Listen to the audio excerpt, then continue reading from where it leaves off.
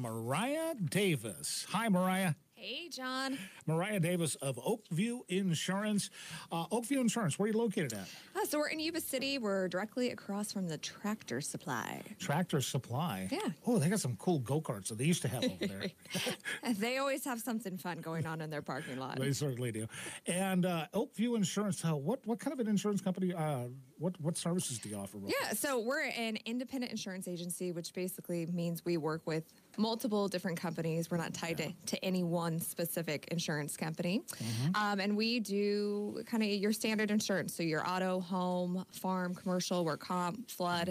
We're doing a ton of high fire uh, homeowners insurance right now. That's a, a really big thing going on in especially Northern California Yeah. uh, for any of folks that are in the hills. Tell me about flood insurance real quick. And uh, does it take a while to kick in? Is it like 30 days? Is that what it was? So if you are purchasing it through the National Flood Insurance Yeah. Program, yes. Okay. Typically, there's a 30 day uh, wait. It does depend if you are, say, purchasing this property and this is your first opportunity to buy the flood insurance. Yeah. Uh, we can get it for no wait. Sometimes, if it's lender required, there may be no wait as well. And then you also have private flood insurance companies who can do like a five day wait or a 10 day wait. So there are some other options out there. I wasn't aware pro- private companies did that because it's such a uh, high liability thing. It, it is. So they're picky about where they're taking. Um, Does it have to be in a non-floodplain zone and things like that? it, it doesn't. So we, we just helped some folks out where the National Flood Insurance Program was just way too expensive. It was like Yeah. twenty five hundred dollars, and we were able to get it through a private flood insurance company for about nine hundred. oh, that's quite So uh, there's options. Um, and that's just one of those benefits of when we work with so many different companies. We we can check them out and see what's going to be best for that specific home in this that specific situation. Mariah Davis, let's get to know you real quick All because right. this is all part of the program, uh, getting to know people in our community. Uh, where are you from? Yeah, I, I'm from Yuba City, Marysville, uh, born and raised. What so, school? What school? Um, so I graduated from Sutter, Okay. even though I, my parents and my family live out in Hallwood. So I, I did the commute. My mom was a teacher for 30 plus years at Sutter. Well, Sutter seems to have this reputation of being the, the premier high school in the area uh, because of all the programs and activities. Did you find that to be? I mean, I'm probably a little biased Yeah. since I, I was a, a teacher's kid, but um, I, I really enjoyed my, my time out at Sutter Sutter. Sutter? Uh, Sutter Cut. Sutter Cut, that's what it is. I always mess that up for some reason. And I always like to say that I, when I graduated from Live Oak High School, uh, we won one football that, game that year, and we beat Sutter at their homecoming. So, Well, it's it's good to know that, that stuck with you, John. so one thing I, you know, you win one game. It has to be good. Uh, so you went to Sutter. Um, uh, how did your uh, adult life begin? Yeah, so um, I had no idea what I was going to be doing with, with my life. Um, uh, my degree from Sac State is in social science, so that's kind of the whatever degree. Yeah, it's Um, one of those liberal arts things. Yes, yes, it's a mishmash of all sorts of things. Basically, you didn't know what you wanted to do, but but here's your degree. It was either that or a bar- barista or something. So uh, I, I just fell into insurance. Uh, I I got into um, the industry when I was 22. Wow, Um, young. so my, my dad was offered a contract through uh, Farmers Insurance, Mm-hmm. and somehow I managed to talk my way into also getting a contract.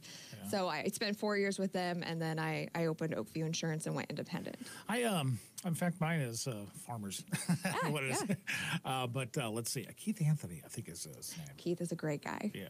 Um, let's uh, let's talk about what is what's in the insurance industry right now. What are people are uh, pe- people concerned about uh, besides the fire? Definitely the high fire. So folks that are in areas that are a higher risk, um, which is kind of a a moving line depending on what insurance company we're working with, what scores, what information that they have out there. Um, so we are seeing a lot of non-renewals. So we have insurance companies deciding that they're not going to be writing in certain areas.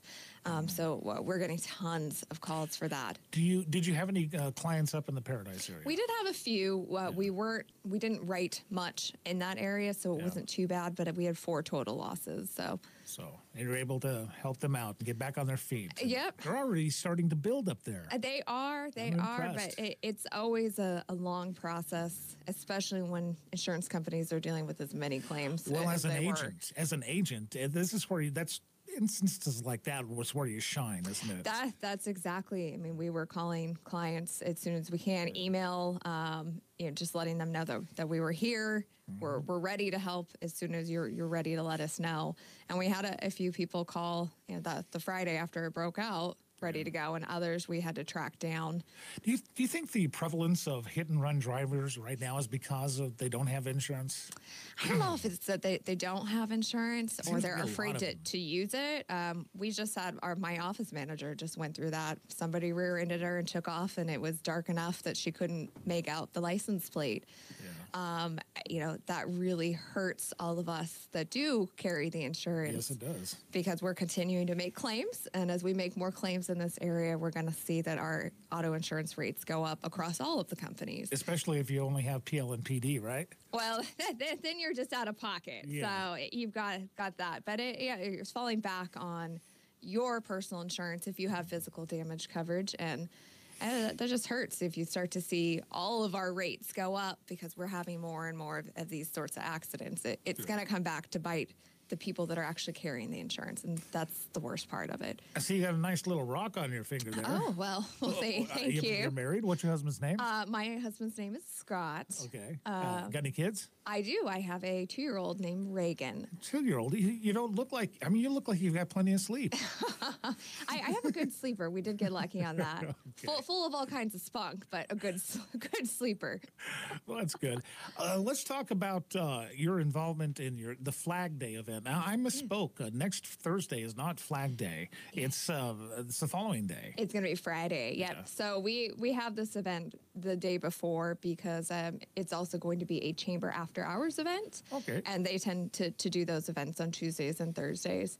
Um, so the event is anybody who has a flag that needs to be retired and would like to pick up a new one, they can stop by our office uh, on Thursday at the 13th from 5 to 7 p.m. Um, we will collect that flag and have it properly disposed of, and then they'll get a free uh, three foot by five foot outdoor American flag. That's a pretty big flag. I was, um, yeah. I was just going to ask you, was this some little? Yeah, no, it, it's thing? not like the the little little Hand one that we'd hand to the the kids. We have those, um, but Yeah. but those are for the kids. Yeah. Um, it, it is a legitimate flag. I mean, we we feel like this is a blessing to the community. It's just a way to give back. Um, I was going to ask you why. yeah, it's it's just the, the patriotic and thing to do and a great thing to give back to our community. Mm-hmm. I, I'm from here. I live and work here. Anything that I can do to make our community better, There's a I- lot- I'm happy to be a part of. there's a higher percentage of veterans in this area than other places. You know, it's it's bizarre to to, to understand and know that oh, less than one percent of the America's population ever serve in the military. I didn't know it was that low. Less than one percent, and it's it's uh, but not here. I, re- I mean, we've got, uh, especially with Beale, in our Beale, back door. But uh, I, I was in the Air Force. You know, we got a lot of Army people as well, and, uh, and I know we got some Marines. We got uh, we got people like uh, Chase Marta, who was I think he was in the uh, Marines. He passed away uh, in Yuba City. I think it was 2012. Yeah, It the, been it's been a while, but I remember the turnout for that. yeah, the turnout, and I see a lot of flags and things like that at Yeah. that, that that time. It just brings out uh, the patriotism. Obviously, you're patriotic American. It, that that's you know grew grew up with that. Um, and my father served in the military as well. We've multiple family members that have. Um, I am I just and probably growing up in this area too. You know had, had a strong influence on that. We, we're patriotic area. The Northern California is in, in general. I, I find you know we're we're pretty pro America, pro military. You know, I'm just I'm putting two and two together and looking at you. You probably served. you probably were, went to high school with Chase, didn't you? Uh, I think he. li- I know he's a Yuba City guy. Uh, yeah, and I I graduated a little further back. So I'm not going to ask your age. She looks, honest to goodness, she looks 21, 22 years old. If you're on Facebook, you'll know exactly what, I, what I'm talking about. I, I appreciate that. Sure. well, it- what it, it's it's not just looks; it's it's um, attitude. I guess is the word I'm looking for. Do you do you find yourself being a um, a role model for people people your age?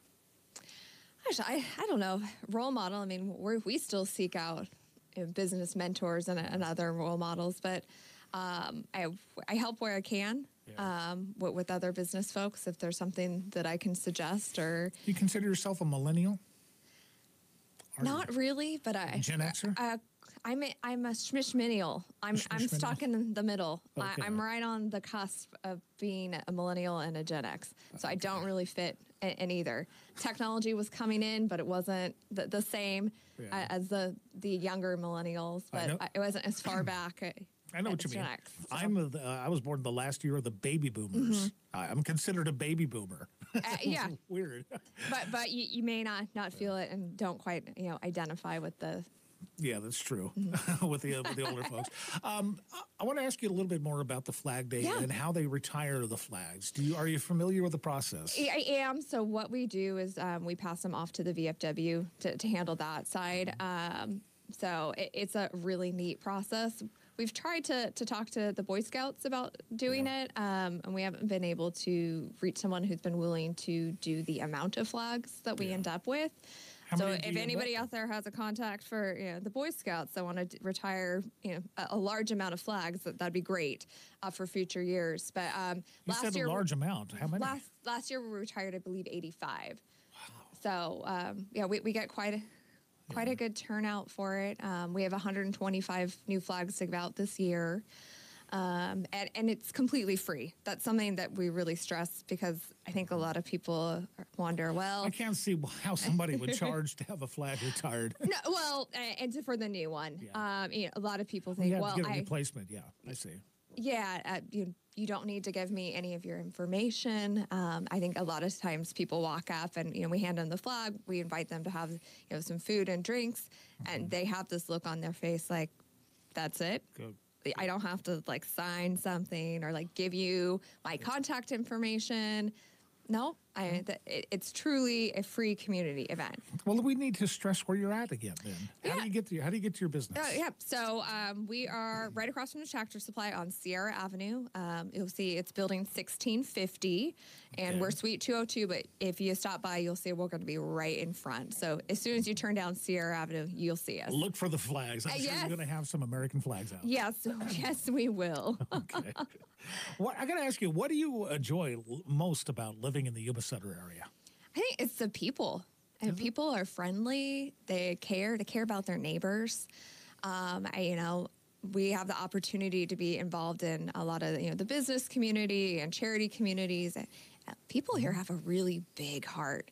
I, it is amazing to me the amount of giving that this community does. When the need is real, they do- they do come out. I, I, they do, and you know that was one thing watching the Camp Fire, watching the response from our community, because it, could have been easy to be like, uh, I mean, technically, Paradise is forty five minutes away. It didn't happen in the Yuba Sutter community, technically. it did. It, it did, but I think it would have been easy for some folks to turn a blind eye or just to kind of say, "Not my problem," and that did not happen. And Oh. I was so impressed with our community. With all the uh, donations that were made, I mean, they opened up the fairgrounds. So I think people are still living over there. Uh, quite they sure. they are, and I I hope people don't don't start to forget that there there's still folks that are struggling because of that. With all the trucks coming through town, we're not going to be able to forget anytime soon. I j- just passed some of those, so But it's nice to see that people aren't getting as upset as they nor- might normally with the increased traffic. Uh, Yeah. It's realizing it's uh, it it has to be done. I mean, there's millions of millions of pounds or acre feet of stuff that has to be removed. And it, it's got got to be removed and it's got to go somewhere. So okay, Yeah. what what is some of the? I got to ask you, what's the being an independent insurance agent? What's the strangest thing you've ever insured? oh gosh. Like somebody's toe or Uh, something? No, we, we stay out of the body part market. Although they, you, That's a you can you can do it. Uh, it's, it's it's a specialty uh, niche for that. Gosh, I'm trying to think. I, we we have our occasional hoarder homes or things that that show up that we, we need to do, but most of it's pretty standard. Standard. What about claims? I mean, uh, uh, you probably had a uh, like a Darwin Award winner or something like that. Um, no, I I can't think of any offhand that are standing out. Um, mostly, we do a lot of education with folks on when it's a good idea to turn in a homeowner's insurance claim and when it's not. Um, I think a lot of people think it's kind of like medical insurance, like oh, I'm just gonna turn in everything. I'm gonna like meet my deductible and do this. It's not. Um, so we get a lot of like my water heater stopped working or my stove stopped working, and we just have to explain the things that are typically not covered by homeowners insurance, and you have a deductible that you have to pay out before those sorts of things would even a- attempt to apply. Yeah. And uh, usually people are carrying a a thousand to twenty five hundred dollar deductible. That's not going to take care of your stove. Not going to take care of your refrigerator. I mean, I've seen some expensive ones, but that's yeah, and then you have to deal with the possibility of a surcharge moving Uh-huh. forward. So we do a lot of education and try to get people to understand when it might be appropriate. I bet you're getting that claim. calls about uh, their air conditioner not working. We're gonna have those. Um, although a couple years ago we did have an air conditioner that uh, overheated and caught on fire, and we did cover that. So that was a, a fire. So Fire. it didn't just get old. And you, you do sell the fire insurance, things like Oh, that. yes, yeah. For business, home, health, the whole thing. We don't do anything with health insurance. Oh, okay. um, we, that's specialty, um, especially with some of the changes that happen in the market. So we refer out for that. Um, but anything that's in the what we call property casualty realm, so Mm-hmm. we're, we're covering liability and property, we take care of. Wonderful. And let's uh, give the who, what, where's again. It's next Thursday. What time? Yeah, so it goes from five to seven p.m. Stop by anytime during during that. Um, we'll we'll have the food and the flags. Yeah. Um, I forgot to mention we will have potato potato food truck is They who's seem to be providing pretty that. popular these days. They, they are, and so the, they will be out there. Um, so from five to seven on next Thursday, that's going to be the thirteenth. Um, and like I said, stop by anytime. It's kids friendly, so bring bring the kiddos. We'll have some little arts and crafts and little toys for them. Um, and bring your uh, flag Yeah, because they but- can get re- they can get uh, you know just whipping in the wind. Uh, they get kind of frazzled. oh yeah, I mean we're starting to have people that just come come every year, and they they bring the old one and pick up their new, and we're, we're happy to provide that service. You're doing good things. thanks, Uh, Mariah Davis, Oakview Insurance Flag Day is actually the following day, Mm. which is also President Trump's birthday. I think he'll be back from England by then. Uh, maybe too, too bad I couldn't get him to come to the event. So. Make Yuba Sutter great again. How about that? Mariah Davis, Oakview Insurance, thank you for being part of the program and thank you for being a great member of our community. Thank you, John. Thanks for having us on.